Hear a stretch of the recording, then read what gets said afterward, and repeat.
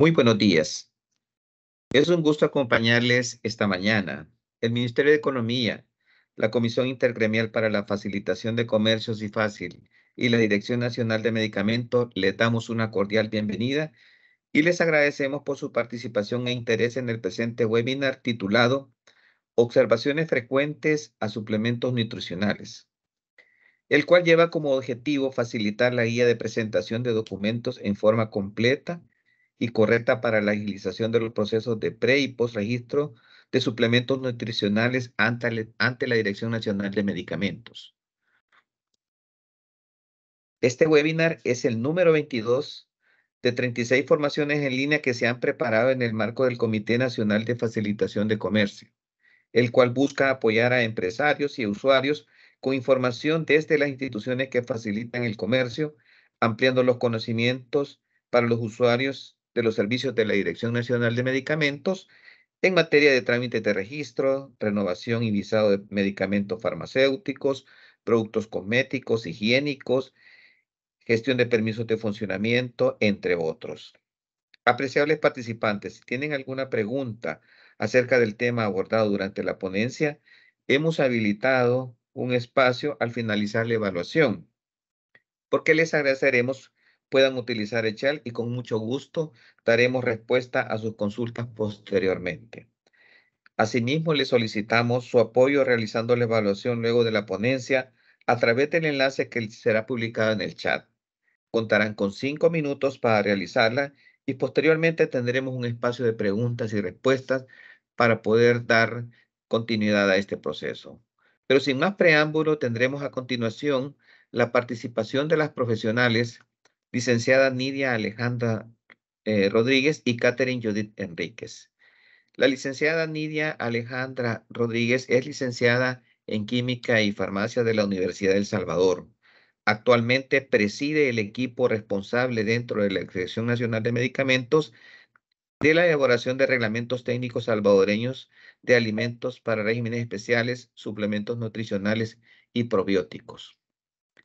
La licenciada Catherine Judith Enríquez es también licenciada en Química y Farmacia de la Universidad de El Salvador con estudios especializados en microbiología. Actualmente desarrolla como técnico del equipo de la Dirección Nacional de Medicamentos, siempre responsable de la elaboración de los reglamentos técnicos salvadoreños de alimentos para regímenes especiales, suplementos nutricionales y probióticos. Cedo la palabra a las profesionales. Adelante, licenciadas. Muy buenos días a todos. Es un gusto para nosotros estar aquí este día con ustedes. Mi nombre es Nidia Rodríguez. Muy buenos días a todos. Es un placer estar aquí con ustedes. Mi nombre es Catherine Enríquez. Eh, sé que este webinar será un poco diferente ya que interactuaremos entre nosotras dos. Y es un gusto para nosotros, pues, eh, comenzar la ponencia acerca de las observaciones frecuentes de suplementos nutricionales, la cual esperamos que les sirva de mucho para, eh, como bien decía el licenciado, eh, pues, emitir de manera correcta y conforme la documentación, tanto en el preregistro como en el postregistro para suplementos nutricionales.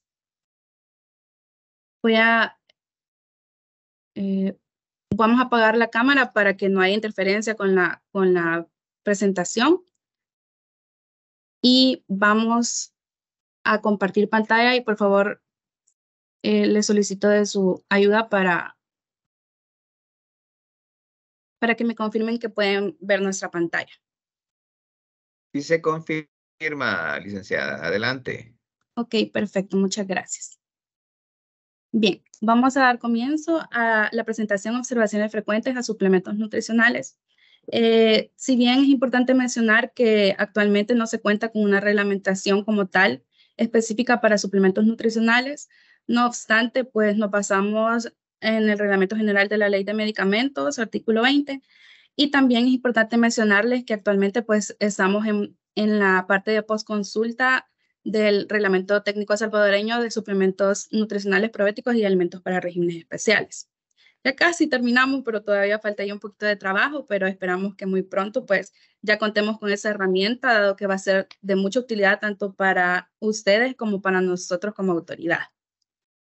Eh, como podrán ver en esa primera presentación, nosotros hemos creado un, un ejemplo de un producto que lo vamos a denominar Suplenutri DNM. Todas las presentaciones se van, se van a basar en cuanto a ese producto para que sea como más fácil digerir la información y más entendible. Ok, comencemos. Eh, algunas de las observaciones más frecuentes en la parte del formulario son, primero, que el formulario pues no corresponde. Eh, un ejemplo de observación que normalmente pues se coloca es, se ha verificado que el documento adjunto no corresponde al producto en trámite. Entonces se le solicita que se adjunte el formulario correspondiente al producto a registrar, dado que a veces por error involuntario pues se remite el formulario de otro producto, entonces no es conforme y es necesario observar para poder verificar la información del formulario correspondiente al producto. Eh, también otra de las observaciones frecuentes es que el formato no es el autorizado. Eh, el ejemplo de observación es, el documento presentado no corresponde al formato autorizado, el cual se genera de forma automática de nuestro sistema, por lo que deberá emitirlo nuevamente, el cual deberá ser impreso, revisado, firmado y sellado en original. Dentro de esta misma me gustaría mencionar que a veces también no se coloca la firma y el sello del apoderado y del profesional responsable. Entonces, de esa pues hay una subobservación acerca de que se remita firmado y sellado en original tanto por el apoderado como por el profesional responsable. Otra de las observaciones frecuentes es cuando se pide que se remita el formulario actualizado y esto es en atención a las modificaciones que se realizan en los pasos del sistema. Algunas de estas observaciones podrían ser el nombre del producto, el cual pues no coincide con la, con la demás documentación remitida. Entonces, se les observa en sistema y ya con ese cambio pues es necesario actualizar el formulario. También otra de las observaciones es que a veces la unidad de dosis no se encuentra homologada. Dentro de esa también me gustaría mencionar que al ir conectado la unidad de dosis con los valores de referencia y a veces se, se observa la fórmula cual y cuantitativa, entonces también se observa en el sistema la unidad de dosis, por lo que también es necesario pues remitir el formulario actualizado. También se observa en sistema la fórmula y los excipientes. En fórmula sobre todo porque muchas veces se, nos olvida pues colocar las equivalencias o el aporte de los minerales y vitaminas y eso es muy importante pues que se emita en la licencia. Entonces por eso es como es muy común que se observe esa parte porque normalmente se, nos olvida colocar la equivalencia y, el aporte de los minerales y vitaminas. Y en la parte de excipientes, pues a veces se nos olvida también colocar las notas al calce que se encuentran en la fórmula quali quanti y la vida útil, que a veces no se encuentra homologada respecto a lo que dice el estudio de estabilidad. Puede ser que en el sistema diga 24 y se remita un estudio de estabilidad de 36 o viceversa, que diga 36 y no se remite estudio de estabilidad. Entonces, también es necesario pues remitir el, la, el formulario actualizado. Así como muchas veces también eh, las presentaciones. En las presentaciones a veces hay errores eh, pequeñitos, pero son pequeños y hacen una gran diferencia en cuanto a su lectura o en cuanto a entender qué tipo de presentación es. Entonces, pues se hace esta observación y es necesario remitir el formulario actualizado. El certificado de venta libre.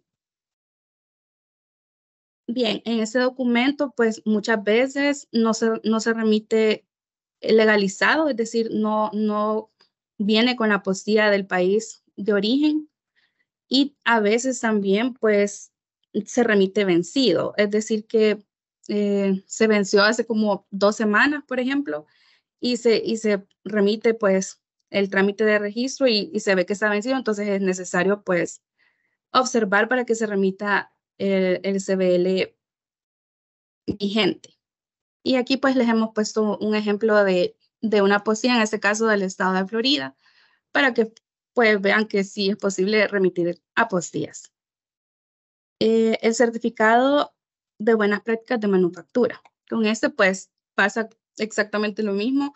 Muchas veces se remite el certificado de buenas prácticas de manufactura, pero no se encuentra legalizado.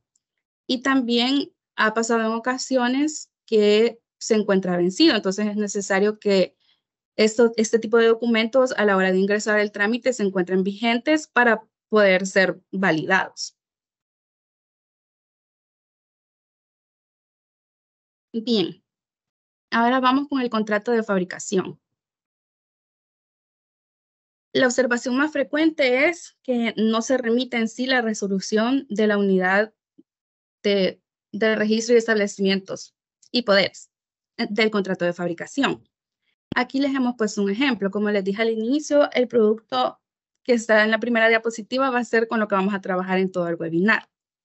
Por ejemplo, en este caso, la DNM pues, es el titular de ese producto y Food NM es el fabricante de ese producto. Entonces, como verán, entre la DNM y el Food NM existe una relación entre titular y fabricante, la cual debe ser inscrita ante la DNM en la, en la unidad correspondiente en caso que no se evidencie esa relación en el CBL o en el CPP, porque puede ser muy posible que en el CBL se declare tanto el titular como el fabricante. Entonces ahí ya, ya está el check de que ya, ya se evidenció la relación entre uno y otro, pero si esa relación no ha sido evidenciada en ninguno de los documentos, es necesario eh, remitir la resolución directa del contrato de fabricación.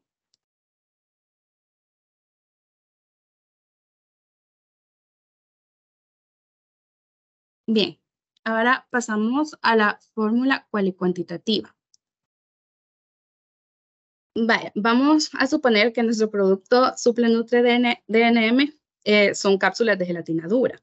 Y cada cápsula de gelatina dura contiene sulfato de hierro monohidrato 65 miligramos, citrato de magnesio 1855 miligramos, vitamina C 100 miligramos, cúrcuma 20 miligramos. Y como excipientes pues tenemos la celulosa microcristalina 120 miligramos. Y eh, se declara la composición de la cápsula vacía. Eh, nos gustaría detenernos en esta parte para explicarles eh, la importancia de declarar las equivalencias o el aporte de las vitaminas y minerales en la fórmula cual y cuantitativa, dado que esas equivalencias son las que nosotros vamos a ir a verificar al etiquetado y vamos a ver que sean conformes y que las mismas se encuentren dentro de los valores de referencia diarios y de los máximos diarios para suplementos nutricionales. Y también, pues, al consumidor realmente lo que le interesa es eh, el aporte, el aporte del mineral o vitamina elemental. En este caso, pues, tomamos de ejemplo el citrato de magnesio, dado que hemos visto que muchos, muchas veces eh, se han como confundido respecto al peso molecular o quizás no están utilizando el citrato de magnesio que se está, que se está declarando en la fórmula cual y cuantitativa y nosotros nos vamos a ver a la monografía y, y, posiblemente sea diferente y por eso cuando se realizan los cálculos pues no, no son conformes. O a veces también puede ser que influya la pureza de los ingredientes activos u otros factores que pueden, pueden venir a afectar eh, las equivalencias de, de estos compuestos. Bien, ¿cómo vamos a sacar nosotros nuestra equivalencia de magnesio para el citrato de magnesio?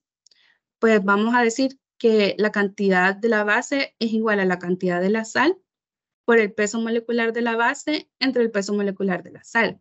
En este caso, estamos buscando la cantidad de magnesio, la cual es igual a la cantidad del citrato de magnesio contenida en mi fórmula por el peso molecular del magnesio entre el peso molecular del citrato de magnesio. Entonces, mi cantidad de magnesio va a ser igual a 1855 miligramos de citrato de magnesio, que yo los tengo contenidos en mi fórmula, por el peso molecular del magnesio y como ustedes pueden ver ahí arribita donde dice equivalencia de magnesio elemental, hay en la, pues en mi fórmula molecular hay tres magnesios. Entonces pues se me triplica el, el peso molecular del magnesio, siendo eso 72.915 miligramos por mol de magnesio. Entre el peso molecular del citrato que corresponde a 451.12 miligramos por mol de citrato de magnesio. Esto me da un, total de 299.82 miligramos de magnesio aproximados a 300 miligramos de magnesio. Entonces así es como nosotros obtenemos la equivalencia o el aporte del mineral elemental, en este caso, para el magnesio.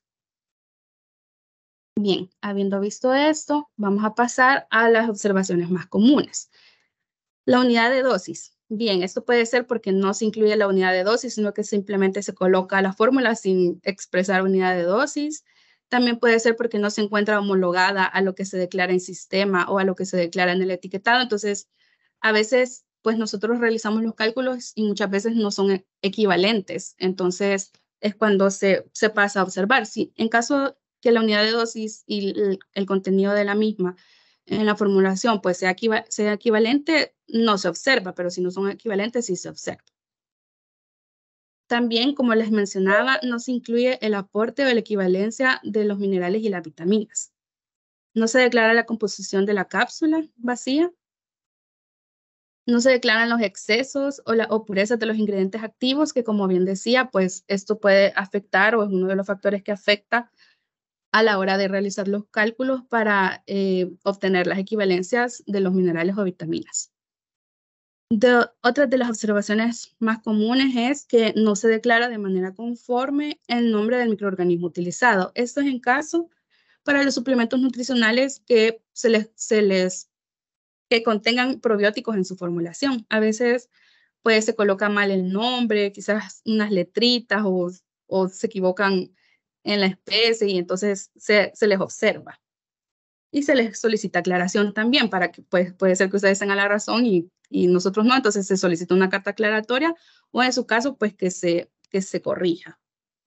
Otra de las observaciones muy frecuentes es que no se coloca el nombre científico de la planta. En este caso, para los ingredientes activos de origen botánico, muchas veces pues eh, se nos olvida colocar el nombre científico de la, de la planta y también la parte utilizada. Como ustedes podrán ver en nuestro Suplenutri DNM, pues estamos utilizando cúrcuma, el nombre científico cúrcuma longa, y la parte de la planta utilizada, en este caso, pues raíz. Entonces, pues así como la manera de correcta de presentar eh, la fórmula cual y cuantitativa cuando en este caso se contengan ingredientes activos de origen botánico. Otra de las observaciones, esta no es, es, no es muy frecuente, pero es importante que la sepan porque sí ha pasado, es que los ingredientes activos se encuentran fuera de los valores de referencia o máximos diarios. En ese caso, pues toca observar la fórmula cual y cuantitativa eh, de que se remita información de referencia para respaldar eh, la cantidad que se está utilizando de ingrediente activo y así pues media vez quede respaldada que si entra dentro de un máximo diario, pues no hay problema. Por eso siempre se le solicita una aclaración. Ahora vamos a pasar a la parte de las especificaciones de producto terminado. Bien, eh, las especificaciones de producto terminado emitidas por el fabricante del producto a veces no se incluye o no cumplen con alguna de las siguientes pruebas. Vamos a comenzar por la prueba de identificación. Muchas veces no se coloca la identificación para todos los ingredientes activos o en su caso para ninguno de los ingredientes activos, es decir, no se coloca la identificación de ninguno. Y o se coloca incompleta, entonces pues se solicita que se, que se incluya o que se justifique de manera técnica el motivo por el cual no se incluye la identificación de todos los ingredientes activos. Porque puede ser que hayan eh, interferencias o, o que no se haya desarrollado un método, pero contamos con la valoración o el ensayo. Y muchas veces tampoco se coloca esa prueba o se coloca incompleta, es decir, que no se coloca la valoración o el ensayo para todos los ingredientes activos. Entonces, de igual manera, se le solicita que se incluya o que se justifique de manera técnica el motivo por el cual no se ha incluido.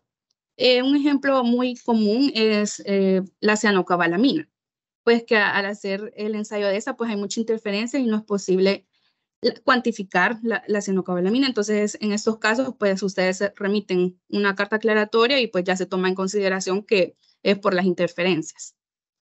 Otra de las, de las especificaciones del producto terminado que no se incluyen es el peso promedio. Esa sí es como bien común que, que se les observe en cápsulas y tabletas de que no se coloca el peso, el peso promedio dentro de las especificaciones del producto terminado. Otra de las observaciones es para la prueba de desintegración. Normalmente pasa que no cumple con, lo estipulado o lo establecido en el capítulo 2040 de la USP, que es el capítulo para desintegración y disolución de suplementos nutricionales. Eh, les voy a poner un ejemplo eh, para cápsulas de gelatina blanda. Muchas veces utilizan la especificación para, para cápsulas de gelatina dura y el, el, el, el capítulo 2040 establece que eh, para, para las cápsulas de gelatina blanda la prueba es la prueba de ruptura. Entonces, para, para la tolerancia de esta prueba es 15 minutos según la USP. Entonces, se les observa de que no cumple con lo establecido en el capítulo 2040 de la USP, que se, que se corrija o en su caso que se, que se respalde de forma técnica el motivo por el cual se, se está indicando de esta manera. Otra de las pruebas que es muy común que no se tome en cuenta es la prueba de disolución. Es muy importante que tomen en consideración que muchos de los suplementos nutricionales, como los multivitamínicos, sí tienen una monografía oficial en la USP, por lo que dentro de esta monografía se indica que se debe cumplir con la prueba de disolución. Eh, cuando tú te remites al capítulo general 2040, pues puedes observar que la disolución, hay una tablita y, y puedes ver que la disolución se hace para la vitamina indicadora, el mineral indicador y para el ácido fólico, obligatoriamente si está contenido en la formulación. Entonces, muchas veces no se toma en consideración esta, esta prueba, por lo que las especificaciones de producto terminado son, son o tienden a ser observadas respecto a que se incluye esta prueba. Otra de las observaciones, y esa es para polvos, es que no se coloca o no se incluye la prueba de llenado mínimo. Entonces, pues es, necesario que cumpla con esa prueba para polvos. Y muchas veces, pues no se incluye, entonces el, el documento termina siendo observado. También no se, no se incluye o no se declara la prueba de pH y el tiempo de reconstitución. Eso también siempre para polvos es muy importante que se tome en consideración que la prueba del tiempo de reconstitución es muy importante, sobre todo para aquellos suplementos nutricionales que, se, que pues la preparación es en un vaso de agua y pues es necesario saber el, el tiempo en el cual ese se va a reconstituir. Normalmente es para productos que son como proteínas y ese tipo de suplementos nutricionales que son para consumo en un vasito de agua. También eh, nos indica la apariencia una vez reconstituido, la cual para el, laboratorio de control de calidad pues es importante conocer la apariencia de este una vez se reconstituye.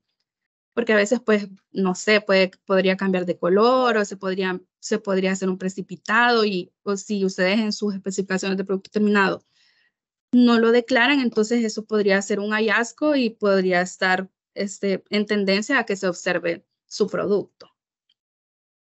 Otra de las pruebas que mm, esta es sobre todo que no cumplen, porque normalmente sí se incluye, pero el problema es que no, no cumplen con lo establecido.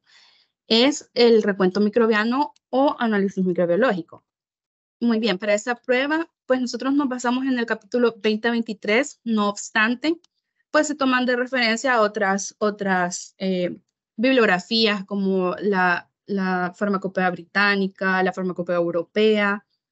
También tomamos en consideración hasta la farmacopea india, porque a veces, pues, en India las, los, los recuentos o las, o las especificaciones establecidas son muy diferentes a lo que podemos encontrar en la farmacopea británica o en la USP. Pero, pues, deberían de tomar como referencia, como sugerencia de nosotros como autoridad, el capítulo 2023, que es o se declaran los atributos microbiológicos de los suplementos nutricionales y dietéticos no estériles. Y ustedes ahí van a observar en un cuadrito, pues cuando los suplementos tienen, son de origen botánico, cuando son tinturas, cuando son infusiones, decocciones, también hay una tablita más abajo que, que se evidencia el establecimiento para suplementos nutricionales con otros ingredientes, que es donde caen todos estos tipos de proteínas, eh, los y, así. Entonces, eh, para que tomen en consideración ese capítulo, porque muchas veces pues nosotros observamos referente a ese capítulo. No obstante, siempre dejamos la ventana abierta para que ustedes puedan pues de, de alguna manera respaldar sus especificaciones en cuanto a bibliografía oficial. Así que no es como que se obligue a que se cumpla tal cual el capítulo, pero si no se tiene un respaldo, pues lo, el deber ser es cumplir con lo establecido en este capítulo.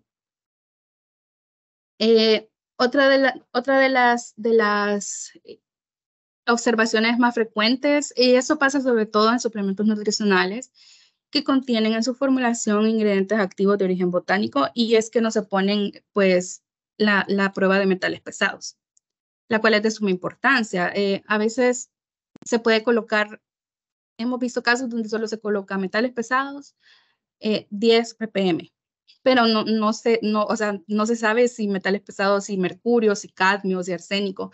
Entonces, como cada uno tiene ya su especificación establecida, y esto lo podemos observar o nos podemos ir a consultar el capítulo 2232 de la USP y el capítulo 561, que es el de artículos de origen botánico. Es válido que se tomen, que se tomen de aquí los, las, los límites para impurezas elementales, en este caso, pues metales pesados. Y otra, como podrán ver en pantalla, eh, se toma en consideración el capítulo 64. Ese, ese capítulo es, denominado como pruebas para probióticos. Y pues aquí vamos a ver la manera en cómo se podría presentar la identificación o la cuantificación de microorganismos en caso en que su suplemento nutricional pues contenga dentro de su formulación un probiótico. También vamos a encontrar los contaminantes para probióticos, entonces es importante como pues anotarlo y, tenerlo en consideración. Muy bien, eh, voy a pasar a darle la palabra a mi compañera Catherine Enríquez. Muchas gracias. Gracias. En seguimiento a la ponencia, otro de los hallazgos muy marcados eh, en estas observaciones es en el informe de estabilidad. En los casos que los estudios sean una vida útil mayores a 24 meses, estos no son remitidos. Em, de igual manera, las especificaciones del producto terminado eh, declarados en el informe del estudio de estabilidad, estos no son conformes o no coinciden con las especificaciones de producto terminado declaradas. Por ejemplo, em, que en las especificaciones del producto terminado del documento eh, se declaren una desintegración de tiempo menor a 30 minutos. Y se verifica que en el informe del estudio de estabilidad, en las especificaciones del producto terminado, esta desintegración sea un tiempo menor a 35 minutos. De igual manera, otro hallazgo muy importante también es que, por ejemplo, en la descripción del producto, para este caso, Em, el producto que hemos puesto como ejemplo eh, son cápsulas. Por ejemplo, en las especificaciones del producto terminado en el documento, el color de las cápsulas, estas sean, por ejemplo, un color blanco, forma oblonga, y, y que en las, en las especificaciones del producto terminado del informe de estabilidad se cambie en sí la, la coloración del producto. Por ejemplo, cápsula color beige y que cambien si la forma también, esas otras observaciones muy marcadas. De igual manera, eh, se, ha, logrado identificar que en la monografía de los principios activos o ingredientes activos no son conformes eh, a las declaradas en la fórmula. Voy a, por ejemplo, que no se adjunten para todos los ingredientes activos, para el caso de que por ejemplo, en la fórmula se declara citrato de magnesio, se ha logrado identificar que no se remite la, la monografía que corresponde al principio activo, por ejemplo, que se adjunte la monografía de gluconato de magnesio y asimismo se ha logrado identificar que no se remiten bibliografías no fiables, por ejemplo, que sean de Wikipedia, entre otros.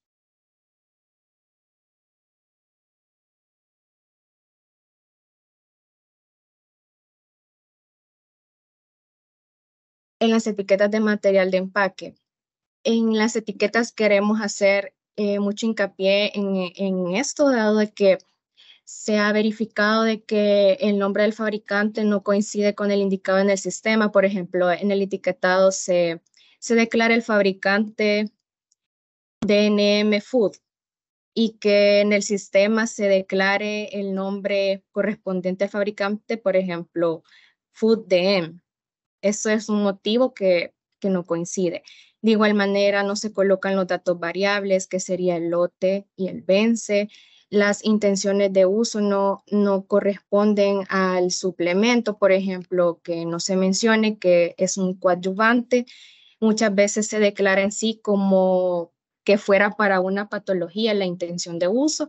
Asimismo, las leyendas, eh, muchas de las leyendas correspondientes de los suplementos nutricionales y que son muy importantes y queremos detenernos en eso, es que tomen en cuenta de que una de ellas es este, que este producto es un suplemento nutricional, eh, que no es un medicamento y también que esto no suple a una alimentación equilibrada o que sea una frase similar.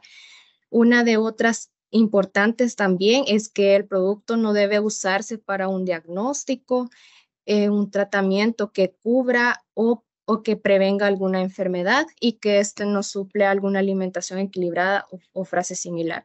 Asimismo, eh, mencionarles también de que, por ejemplo, la, la fórmula que, que se declara en el etiquetado en sí en sus concentraciones no coinciden con las concentraciones declaradas en la fórmula. Aquí hemos puesto un claro ejemplo. En sí, esta es la fórmula original que se ha presentado en la solicitud. Como podemos ver, estas son las concentraciones de cada uno de los ingredientes que componen a la formulación y estos han sido cambiados en su concentración y asimismo mencionar que muchas veces eh, la unidad de masa eh, no corresponde, por ejemplo, que se ha declarado en, en, microgramos la unidad de masa en las etiquetas y que en la fórmula esta sea de miligramos. Asimismo, reiterar de que en muchas ocasiones no se menciona em, para los artículos de origen botánico, por ejemplo, los ingredientes, no se menciona el nombre científico de la planta y el órgano que ha sido utilizado para la extracción.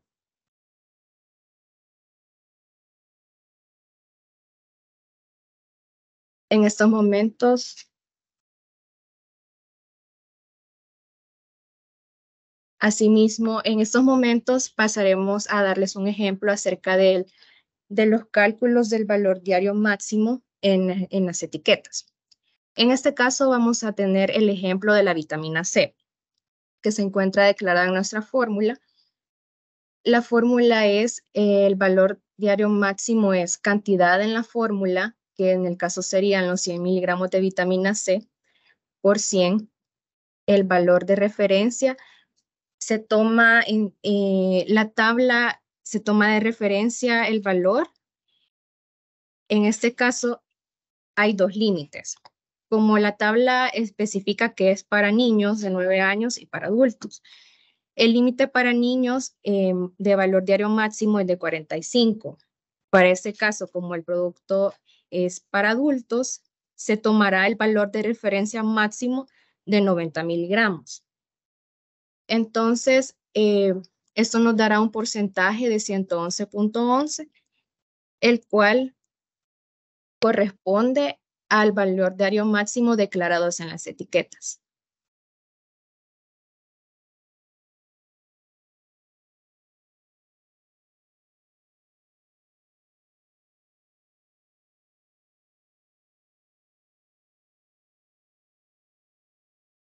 En estos momentos se doy la palabra a la licenciada Rodríguez. Muchas gracias. Muy bien, continuando con la ponencia, vamos a ver las observaciones más frecuentes en la metodología analítica. Pues una de las observaciones más frecuentes es que no presentan la metodología de análisis de cuantificación. En este caso, pues es muy importante, así como tampoco se incluyen la cuantificación en especificaciones terminado en, especificaciones de producto terminado, perdón, a veces no se incluye, también así pasa con la metodología que nos incluye pues la metodología para el análisis de la cuantificación de los ingredientes activos. Entonces, pues, eh, el laboratorio de control de calidad observa referente a que, se, a que se incluya.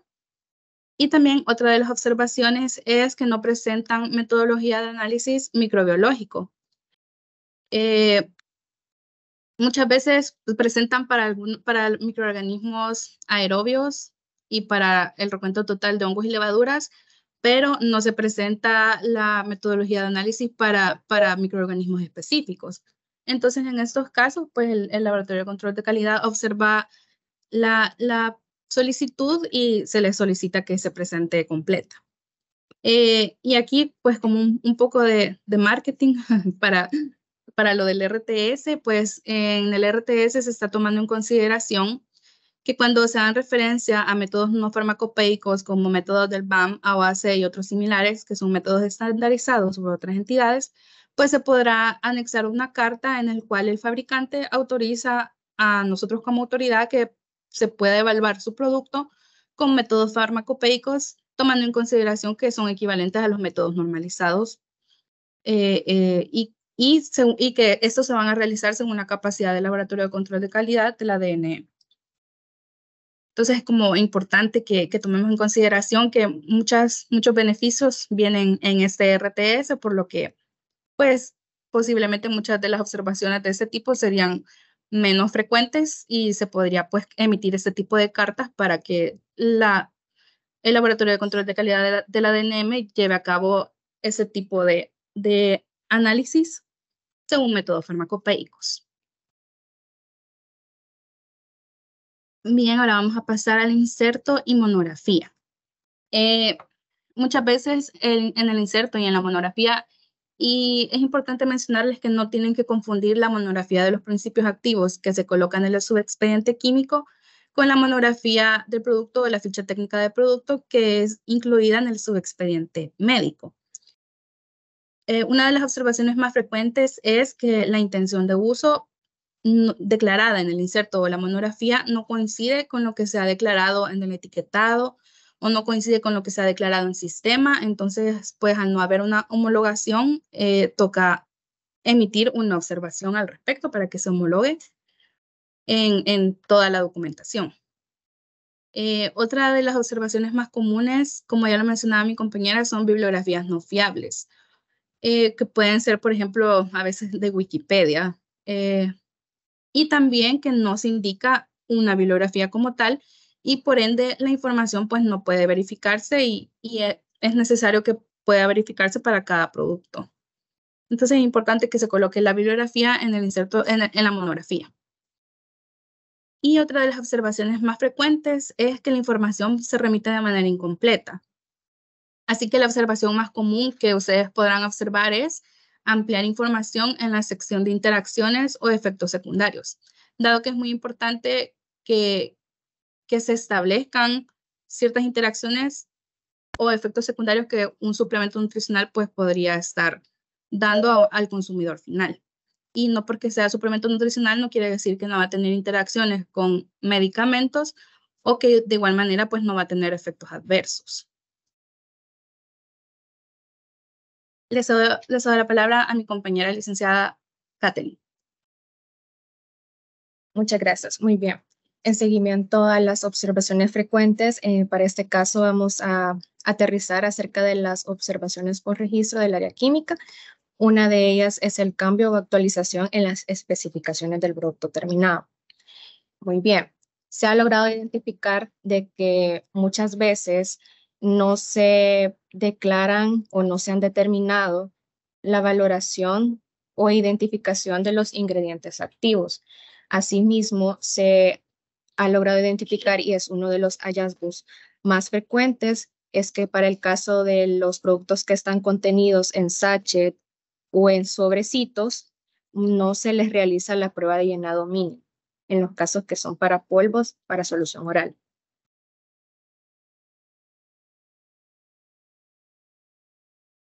En el cambio o adición en el tipo de material de empaque primario o del sistema de envase cierre. Es muy frecuente que, por ejemplo, al inicio del registro se, se presenten las etiquetas, por ejemplo, de un blister de PVC y al presentar eh, las etiquetas se presente un blister de aluminio. Para estos casos es muy importante mencionarles de que se debe de cerciorear en sí la vida útil del producto, em, de que las especificaciones del producto terminado sean convenientes al producto, Asimismo, eh, mencionarles también de que para los productos antiguos en que no se puede verificar la vida útil autorizada para el producto, eh, se debe de presentar una resolución correspondiente en la cual se declare la vida útil y posteriormente se debe declarar también el empaque anterior. Asimismo, eh, hacer mucho hincapié y de, de hecho hacerles conciencia también de que yo sé que en, otras agencias no, no, se pide el color del empaque del producto y yo sé que como autoridad eh, muchas veces eh, es una observación frecuente que se pida el color de empaque. Esto es muy importante dado que esto es una en sí para una característica muy importante, dado que esto salvaguarda su producto, a que esto posteriormente a futuro, esto no se puede falsificar.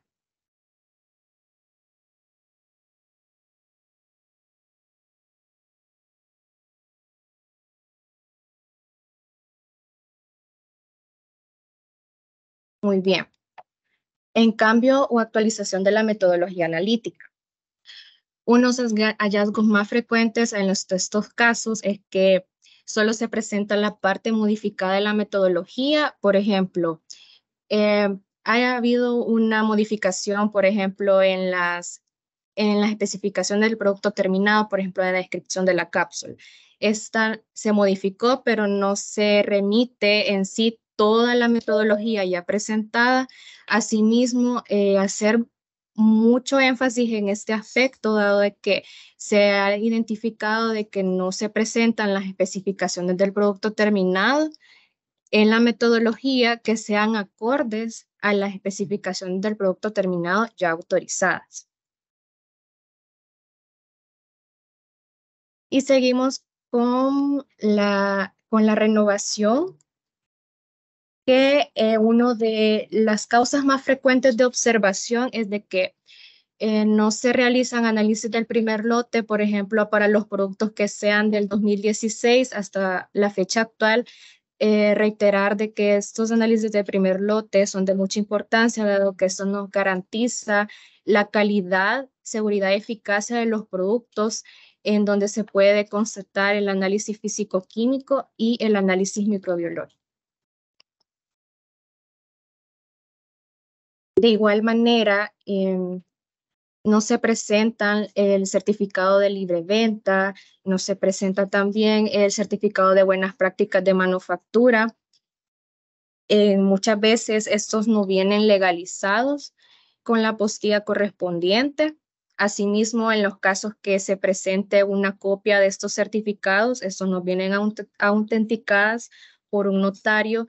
Asimismo, em, se ha logrado identificar que el fabricante declarado tanto en el certificado de libre venta y la de las buenas prácticas de manufactura, este no coincide con el fabricante eh, que se sometió anteriormente, el fabricante autorizado.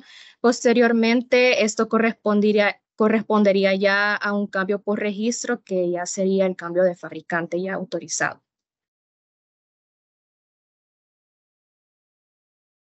Muy bien. En este aspecto, en esta presentación queremos profundizar mucho, dado de que se ha, habido muchos hallazgos de que no se presenta en la declaración jurada. Em, asimismo, reiterarles de que ustedes pueden encontrar este documento en la, dirección aquí en pantalla, la cual estoy mencionando con el cursor, la cual es la, la dirección de nuestra institución en la cual ustedes pueden verificar que hay diferentes documentos descargables. Ustedes pueden entrar a inicio. Esa es la pantalla de inicio, la que está atrás. Posteriormente, ustedes le dan clic a, a este icono que corresponde a la unidad de registro de medicamentos. Posteriormente, eh, se van a las herramientas, están las herramientas y las guías, y para descargar la declaración jurada, ustedes dan clic a herramientas y como documento último podrán verificar que se encuentra la declaración jurada de la renovación de registros sanitarios. Eh, asimismo, mencionarles de que han habido muchas observaciones respecto a la declaración jurada, por ejemplo, cuando esta viene eh, del extranjero, esta muchas veces no viene apostillado o debidamente notariada. Asimismo, en el caso que, por ejemplo, antes en la fórmula cual y cuantitativa, por ejemplo, se tenía una concentración de la sal, por ejemplo, si trato de, de magnesio a una cierta pureza y esta haya sido cambiado, por ejemplo, en sí en su concentración, la pureza, no es necesario presentar la declaración jurada en la renovación, sino que deben de, presentar un cambio por registro, el cual correspondería al rebalanceo de fórmula y eh, hacer énfasis que solo corresponde a que eh, sea el mismo principio activo y la misma sal.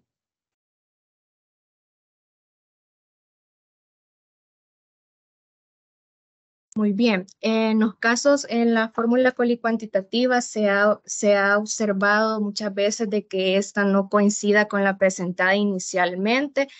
Em, mencionarles también que para los casos, eh, aquí ponemos un ejemplo claro que, por ejemplo, eh, inicialmente en la fórmula nosotros tenemos una concentración de 120 miligramos del excipiente celulosa microcristalina, como podemos observar.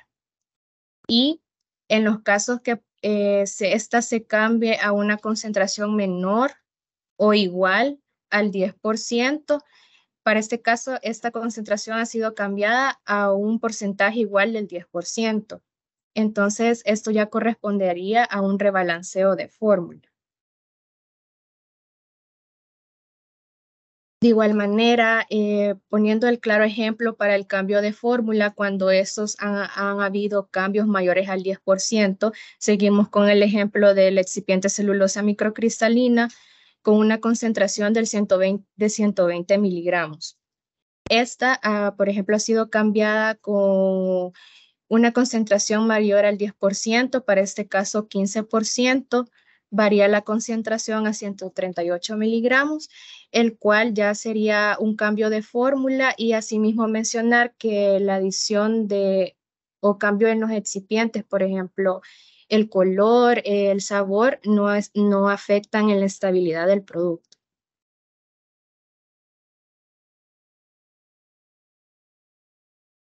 Asimismo, eh, reiterarles que estos eh, son las diferentes direcciones en las cuales ustedes pueden consultar, dado que son ejemplos de entidades competentes que emiten documentos oficiales y para posteriormente verificar esos documentos. Asimismo, eh, adjuntamos algunos links de búsqueda de entidades competentes que normalmente son utilizadas en la evaluación para la verificación de documentos, por ejemplo, Utah Department of Agriculture and Food, eh, la NSF, que aquí podemos verificar también las buenas prácticas de manufactura de algunos fabricantes, y también AESAN, que es una entidad en eh, la cual muchas veces podemos verificar algunos ciertos suplementos que pueden estar registrados y así poder verificar la trazabilidad de estos mismos.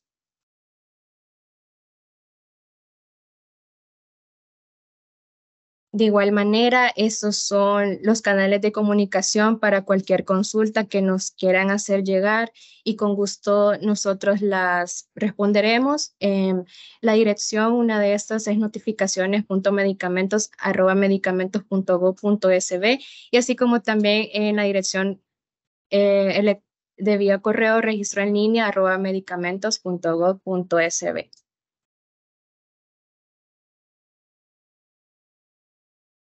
Ok, eh, estaríamos terminando nuestra ponencia. Muchas gracias por su atención. Y pues cualquier consulta estamos a la orden.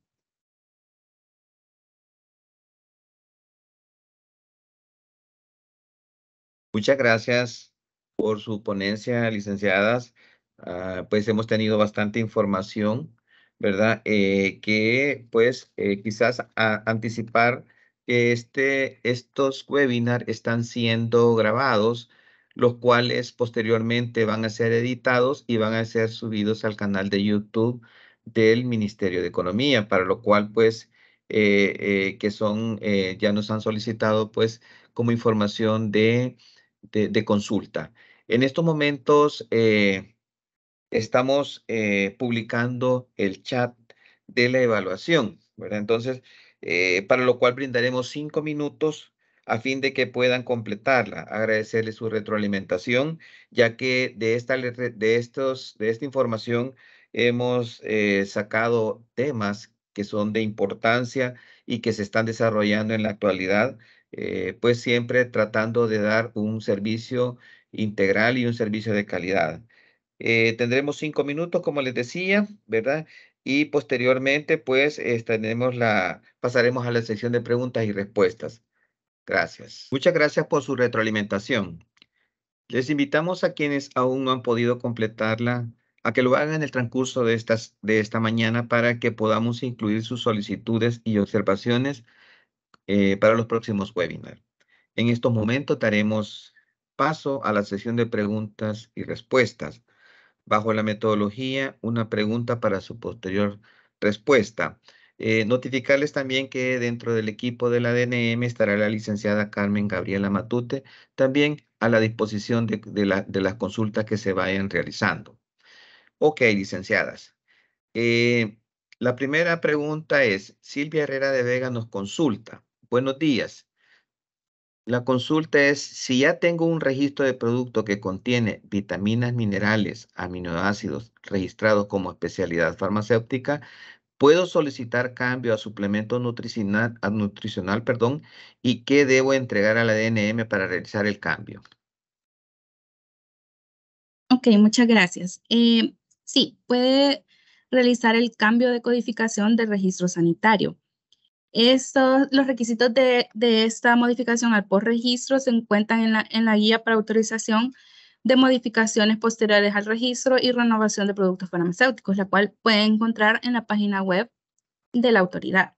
Eh, ahorita puedo hacer mención de los requisitos, en, en, los mismos se encuentra el informe de de estabilidad en caso que aplique para suplementos nutricionales con vida útil mayor a 24 meses, las etiquetas del envase, empaque primario, secundario, sus proyectos, el inserto, la ficha técnica y el respaldo técnico científico que muestre evidencia del tipo de producto. Ese sería como los pasos a seguir para eh, el cambio de codificación de registro sanitario, que en ese caso sería de pasar de una especialidad a un suplemento nutricional. También es importante que mencionar que en el reglamento técnico salvadoreño se ha tomado en consideración este cambio, esa modificación al por registro por, por, por esa misma consulta, porque muchos productos antiguos pues tienen la, la codificación de especialidad farmacéutica siendo estos suplementos nutricionales. Muchas gracias. Muchas gracias, licenciada, por su, respuesta. A ver, eh, hay una consulta que nos dicen, eh, ¿podrían compartir la tabla de todos los elementos de valores nutricionales o si nos pudieran pasar la bibliografía utilizada para poder trabajar la tabla nutricional para nuestros productos? Eh, ahí tal vez nos puede ampliar, licenciada. Con mucho gusto. Ok, es muy importante mencionar también que esos valores de referencia diarios recomendados y máximos diarios, pues están, se encuentran incluidos en lo que es el reglamento técnico salvadoreño, por lo cual a nosotros nos interesa mucho que ese reglamento pues salga lo más pronto posible, dado que ustedes van a tener como la guía más certera por dónde irse respecto a esos valores de referencia. No obstante, dado que aún no se encuentra eh, eh, aprobado ese reglamento, ustedes pueden abocarse a, autoridades como AESAN, que es una de las autoridades que, que tiene pues en sus páginas web los valores de referencia diarios. También pueden abocarse a Anvisa, Brasil, que eh, con ellos es muy fácil buscar eh, los valores, dado que solo se coloca en un link de búsqueda el componente y ya se, se, remite pues a una tabla de valores que también son tomados en consideración. Eh, me parece que Chile también cuenta con sus propios valores de referencia y entre otras bibliografías que pueden ser de respaldo técnico a la hora de la formulación y a la hora de, emitir la solicitud para su evaluación. Muchas gracias, licenciada, por su respuesta. Eh, tal vez en este sentido, tal vez no podrían, eh, tal vez a través del chat, si los tienen a la mano, poderlos compartir y pues eh, creo que eso ayudaría a esto y sí, muchas gracias. A ver, la siguiente pregunta es de Dinora Vigil. nos dice, buenos días, quiero saber si ante la duda sobre registrar como producto farmacéutico o suplemento nutricional existe algún documento donde consultar. También cómo saber cuándo es un producto alimenticio o nutricional. Entiendo que obedece a concentraciones. ¿Es correcto? Gracias. Muchas gracias. Bien, por el momento los requisitos se encuentran establecidos referente al Reglamento General de la Ley de Medicamentos, artículo 20, donde pues se establecen todos los requisitos para productos farmacéuticos en los cuales se encuentran los suplementos nutricionales. Eh, luego, informar que todos los requisitos, eh, aún pues debido a que el reglamento aún no se encuentra aprobado, no obstante se encuentran dentro de este reglamento, por lo que vuelvo a mencionar que es muy importante que, que, que pues agilicemos el proceso para poder obtener la aprobación de ese reglamento y pues para ustedes ser más fácil eh, emitir este tipo de solicitudes porque ya van a tener los requisitos bastante claros. Eh, ¿Cómo puede diferenciar un suplemento nutricional de un producto alimenticio? Pues nosotros como autoridad tenemos la, la opción o el servicio de que ustedes pueden remitir eh, o solicitar una clasificación de su producto. Y muy, muy efectivamente es que sí, es en base a los, a los valores. Eh, también, además de, la clasificación, ustedes pueden también ir o abocarse a, otra entidad, como en este caso es Minsal, quien es quien lleva ese tipo de productos, y consultar pues a través de ellos también eh, la clasificación del producto que en ese momento tiene. Nosotros como autoridad pues emitimos una resolución a la hora de que se solicita la clasificación del producto, pues que les da más respaldo a ustedes para, para saber si sí es un suplemento nutricional o en todo caso un producto alimenticio. Muchas gracias por la respuesta, licenciada. A ver, eh, Laura Rodríguez nos consulta. Buenos días. Eh, la consulta se puede permitir, por ejemplo, que en una presentación de caja por 10 sachets, en el empaque primario, el lote eh, y vence, mencione ver empaque secundario, ya que no está destinado a venta individual.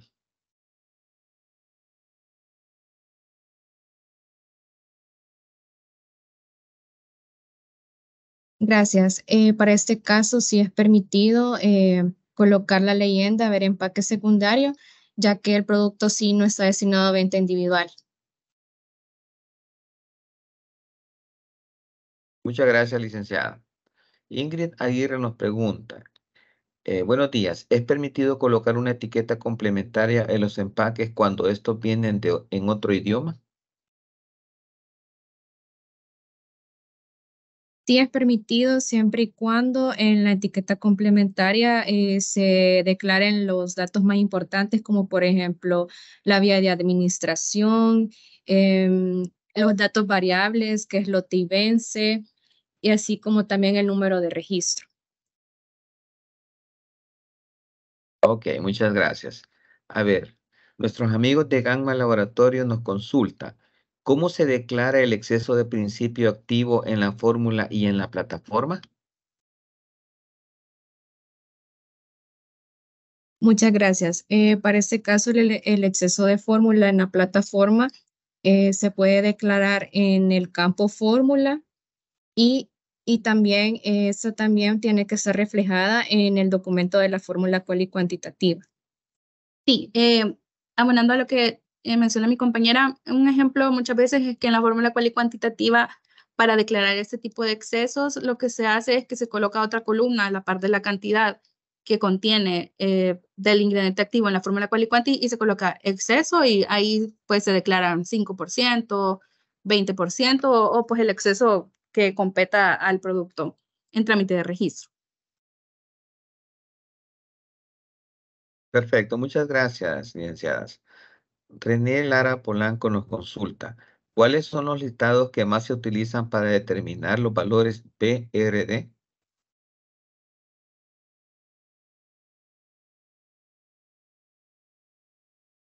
Eh, creo que esa preguntita se parece bastante a una anterior. Eh, como les mencionábamos, Muchos de los listados son Anvisa, AESAN. Ahorita ya les compartimos el de, el de Anvisa para que ustedes puedan verificarlo.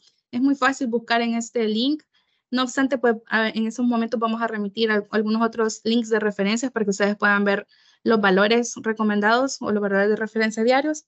Y nuevamente, pues invitarlos a que, a que nos acompañen en los comités para del, del reglamento técnico salvadoreño para que pues ese salga aprobado lo más pronto posible y ustedes pues puedan tener este tipo de guía, dado que esos valores se encuentran dentro del reglamento como un anexo informativo y pues es una información de mucha importancia. Gracias. Sí, muchas gracias, licenciada, por esa invitación abierta. Eh, quizás eh, personalmente hemos visto nosotros aquí en el Ministerio de Economía que el tema de suplementos nutricionales tiene eh, una, ha venido creciendo por los mercados y este, creo que vale la pena pues esa invitación a participar en los comités para poder sacar, digamos, esto a la brevedad posible y poder tener una oportunidad de negocio para los empresarios. A ver, eh, nos consulta Vilma Monge, licenciadas, dice, buenos días, ¿nos podrían indicar cuánto es el tiempo de respuesta para una solicitud de clasificación de suplemento nutricional o suplemento alimenticio? El tiempo de respuesta eh, son 10 días hábiles desde el ingreso de la solicitud.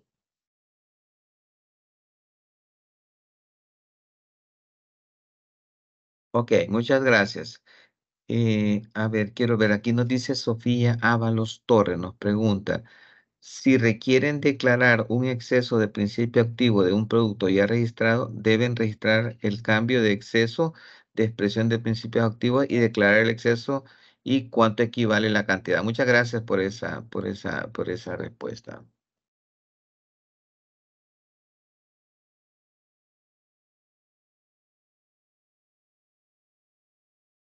Bueno, eh, creo que con esto estamos eh, pues llegando al final de, este webinar, ¿verdad? Eh, primero pues agradecerles de parte del ministerio a las licenciadas Nidia Alejandra Rodríguez y, Catherine Enríquez por compartir su tiempo de manera voluntaria para el apoyo de esta capacitación, ¿verdad? Que hemos tenido información muy importante hemos hablado del marco legal, hablamos de la ley de medicamentos, creo que es el artículo 21, eh, los detalles de observaciones generales, ¿verdad?